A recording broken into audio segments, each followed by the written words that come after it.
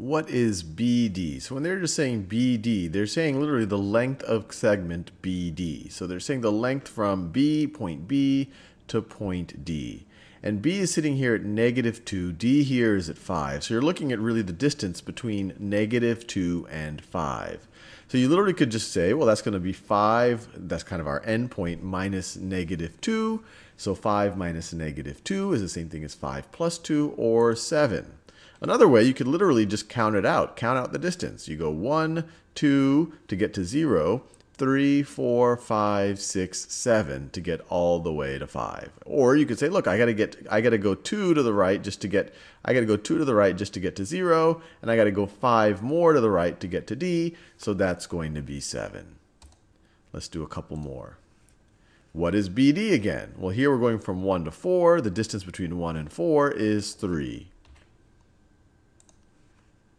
And then let's do one more. What is AD? So A is at negative 5. D is all the way at 4. So we're going from negative 5 to 0, which is 5. And then we're going to go 4 more. 5 plus 4 is 9. Or you could say, hey, look, we start at negative 5. We end up at 4.